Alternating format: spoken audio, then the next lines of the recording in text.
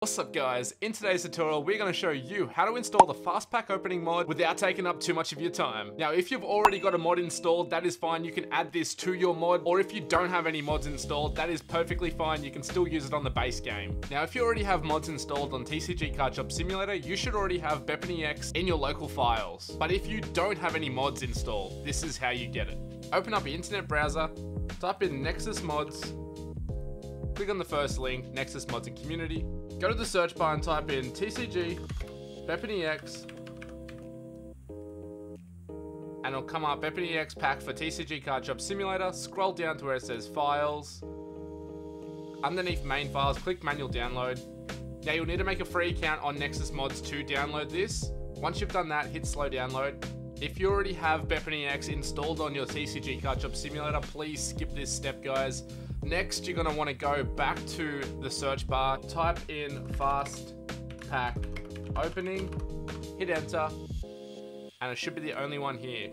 Click on this one, scroll down to where it says files, under main files, hit manual download, and download. Slow download.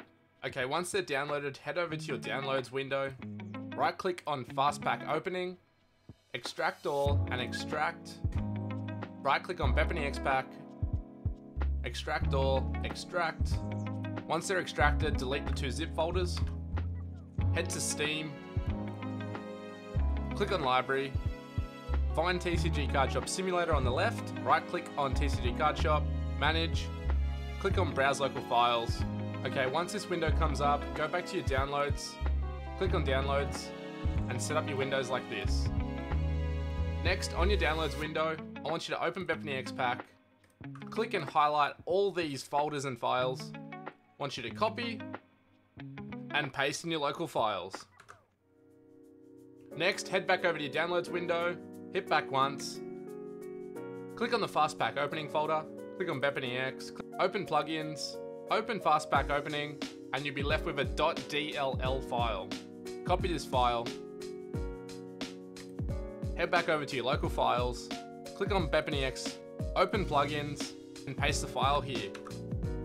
Now there is one more important step. Open your game now. Once the main menu comes up, press F1. You'll see the Fast Pack opening tab. Click on it.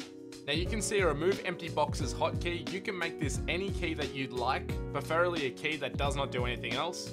I usually make this I. Open or close boxes. This will open up all the cardboard boxes in your store so I keep this as O for open. Speed up pack results screen. You want this enabled. This will speed up the end results for when you open up a pack of cards. So just below that, you'll see high value threshold. This is where the game will pause when you hit a high valued card. Everything is in USD, so you can make it anything you want. I usually set it at about 250 US dollars.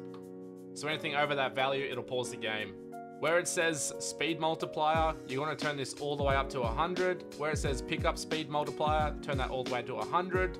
Where it says auto option toggle on or off, I usually make this hotkey P, but again, you can make it anything you like, as long as it's not a key that is already used. Stop auto open high value cards, that'll already be enabled, which is fine. Stop auto open on new cards, I usually turn this off just because I want it to only stop on the high value cards.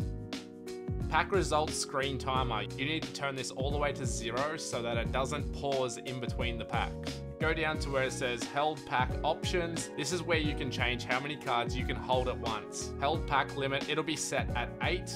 I max this out to 1024. Okay, when you load up the game, you'll need to enable the auto open on or off, which is whatever hotkey you chose. In my circumstance, I picked P as my keybind. You can start opening packs. And anything over the value of $250, it'll pause.